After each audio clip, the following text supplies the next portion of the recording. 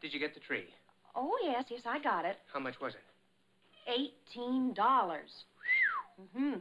And they wanted five dollars extra delivery charge. Must be pretty big. Yes, it was pretty big, all right, but I got it home. Good, honey. I'll be down in a few minutes to take it out of the car. Oh, no, no, Darrin, don't bother. I can manage.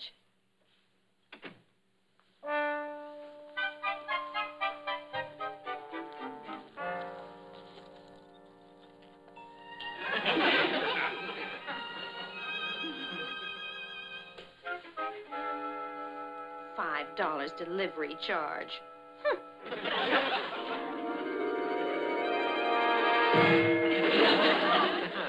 Good.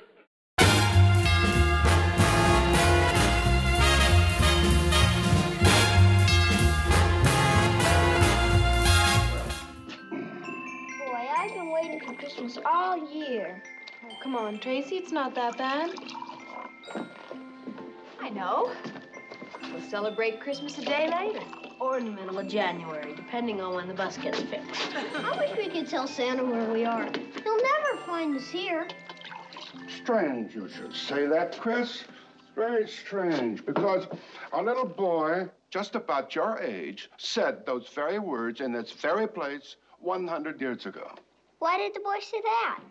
Well, see, when the first settlers built this town, all the kids were afraid, just like you were now, Chris. They were afraid Santa would never find them way out here.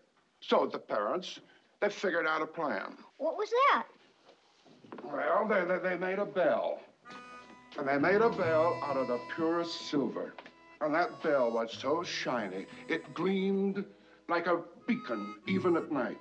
And the tone, the tone of that bell was so crisp and beautiful, you could hear it for miles and miles and miles. So, every Christmas Eve, exactly at midnight, they rang the bell. They rang the bell to guide Santa into the town. Did it work? It sure did. It sure did. They never missed a Christmas. And people came, people came from miles and miles and miles just to see that beautiful bell. And some of them stayed. They stayed right here. This wasn't always a, a quiet, shabby, lonely little ghost town. No siree. Once, this was a hustling, bustling place. Everyone was happy and doing real well. It was a good town, too. So good that the sheriff didn't even carry a gun. No siree. He carried a, a guitar instead. He was a handsome devil, that sheriff. His name was Sheriff Swell. Not only was he sheriff, he was the only source of news. And as town historian, he sang about all the important events going on in town. He swept the streets from dawn till daybreak. And there was a beautiful lady named Miss Bell who ran the saloon. It was a real nice place that served lemonade and lollipops.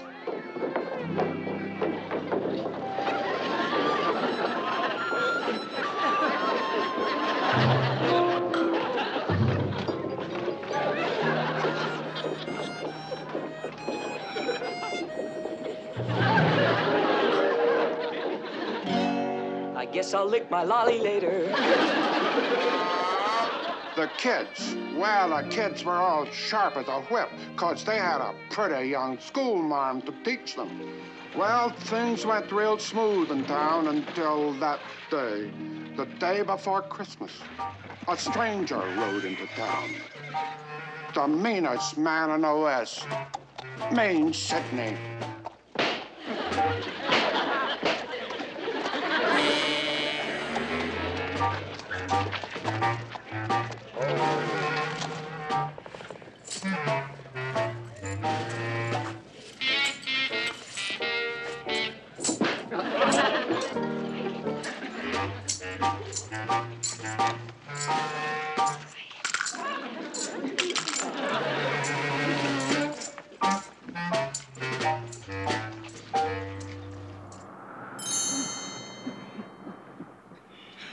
Our journey's over, Benson.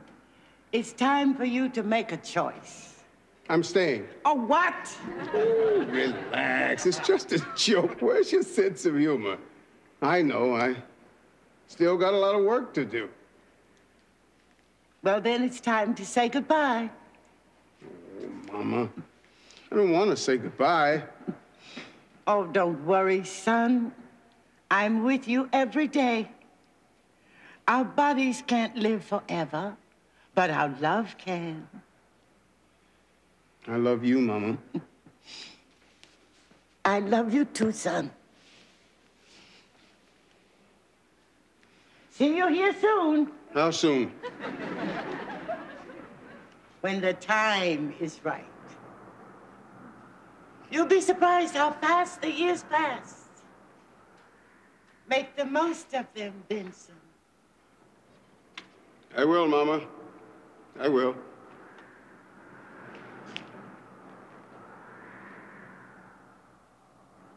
I will, Mama. I will. I will. I will. I think he's coming to. Benson, can you hear me? Yes. And unfortunately, I can see you, too. Oh, I've never been so happy to be insulted in my life. Well, I knew you'd pull through, Benson. Are you all right? That depends. Are you still the governor? As far as I know. There wasn't an election today or anything, was there? Is Katie married? Married? I'm not even allowed to date. Clayton, laugh for me. Laugh? Hmm. Everything's back to normal, Governor. And Kraus, Yeah? I sure hope that turtleneck in your office closet is blue. How did he know that? How in heaven's name could he possibly know?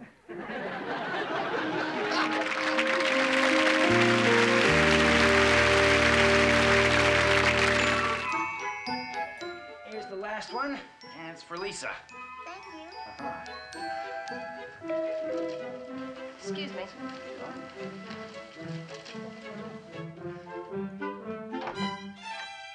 Oh, and Mr. Brockway, this is a surprise. Merry Christmas. Merry Christmas. Uh, I should have called before I came over, but I was afraid you'd say no.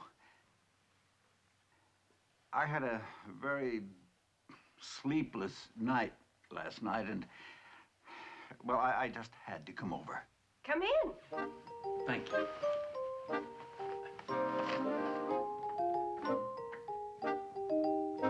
Oh, uh, I don't want to intrude. Come in. Well, uh, everybody, look who's here. Oh, Merry Christmas. Mr. Brockway, Merry Christmas. Tabitha, uh, why don't you and Lisa take Adam upstairs? You, you can play up there for a while, okay? Come on, sweetheart. You can take your blocks. Go on. Go on.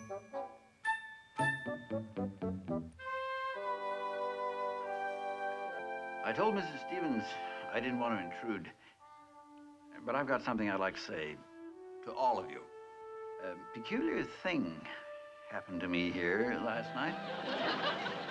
the equivalent of 20 years on the psychiatrist's couch. I discovered something about myself. I found out I'm a racist. A racist? Oh, not the obvious out in the open type of racist. Not me, no. I was a sneaky racist. I was so sneaky I didn't even know it myself. A very smart man said, to adequately define the problem is the first step toward solving it. Well, I've defined it.